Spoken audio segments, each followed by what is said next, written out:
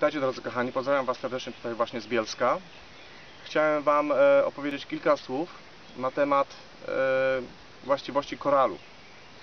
Otóż e, w ostatnich latach e, mieliśmy tutaj właśnie nad Polską chmury radioaktywne, e, które pochodziły właśnie z Czarnobyla. Ja dodam, że historia już jest trochę stara z tym Czarnobylem, e, z, tą, z tym wybuchem właśnie w tej centrali nuklearnej na, w Czarnobylu na Ukrainie ale pewne promieniowania no jeszcze nie zanikły tak do końca tutaj w Polsce i to promieniowanie się po prostu jeszcze y, cały czas y, utrzymuje i ulega rozkładowi.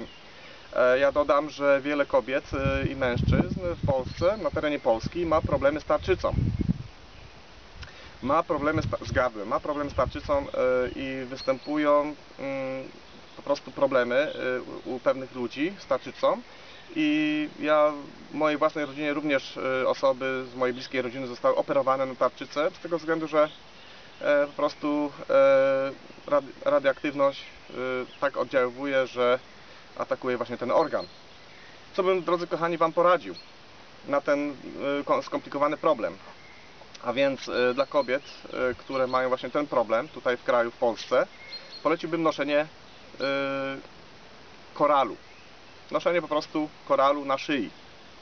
Jeżeli osoba była już operowana, jeżeli osoba yy, no, w niedługim czasie będzie operowana właśnie na, na tą tarczycę, no po prostu po, poleciłbym yy, jak najbardziej noszenie koralu yy, na szyi. Może to być koral czerwony, może to być koral biały, ale po prostu nosić koral na szyi, bo on oddziałuje w taki sposób, że on po prostu nas leczy z tych wszystkich złych promieniowań i z tych wszystkich dolegliwości pochodzących od y, radioaktywności.